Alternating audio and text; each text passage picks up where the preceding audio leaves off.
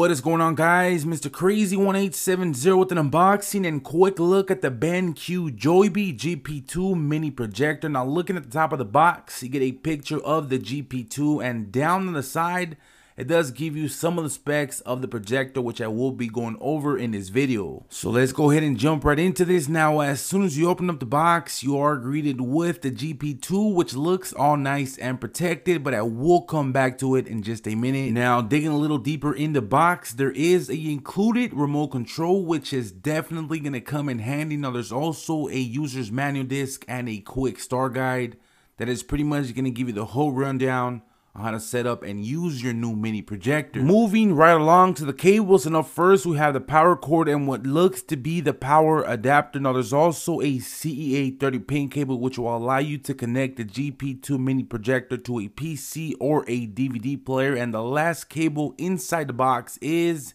a USB cable. Now, coming back to the Joybee GP2 mini projector. Now, the projector does come with this real nice carrying case, which is going to make it easy to carry your projector with you and keep it protected as well. And here we have the mini projector itself, which is very small and very portable. Now, giving you guys a quick look at the GP2. Looking at the top, there's a iPhone slash iPod dock and right in the center there's some touch sensitive control giving you guys a quick side shot. Now there's also a couple inputs. Up first we have a hdmi pc slash av input mini usb and a regular usb input. Now down at the bottom we have a audio in a headphone jack, and a DC in. Now, this mini projector also comes with two built-in speakers and a SD card slot. Now, looking at the side, there's a focus ring where it lets you adjust the focus. Now, the whole setup is super easy and it's as easy as plug and play. Now, what's really cool about this projector is the fact that it has a iPhone slash iPod dock where you could easily dock it into the projector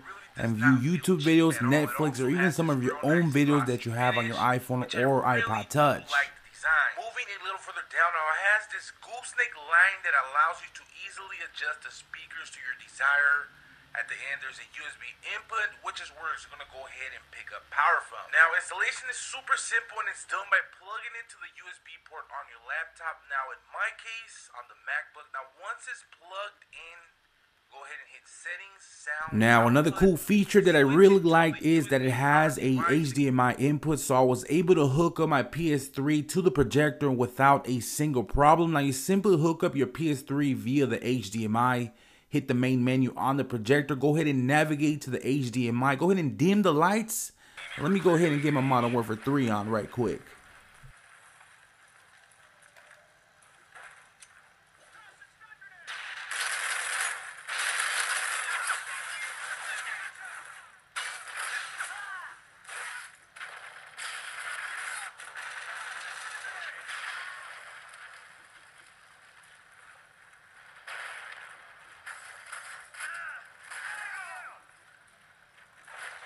Now the camera really does not give you the true quality, but the projector is HD ready and it's at 200 lumens, so it's pretty bright overall. I was really, really impressed with the quality of this projector. Now the two built-in speakers were also pretty good and did get the job done. Now, taking a quick look at the front of the projector, there is a vent and the actual lens where all the magic happens. Now, at the bottom of the device, there is a tripod mount, which could come in handy just in case uh, you will take this on a camping trip now there's also a little kickstand where you could sort of elevate the projector depending on your situation. Now this also comes with 2 gigs of built-in memory which is not all that much but you do have a SD card slot which could be a pretty good alternative for more memory. Overall this projector has pretty much a little bit of everything. It's pretty solid, very nice design and also very portable. So that was just a quick unboxing and quick look at the BenQ Joybee GP2 mini projector. Don't forget to follow me on Twitter and like my Facebook Facebook fan page. All the links will be down below.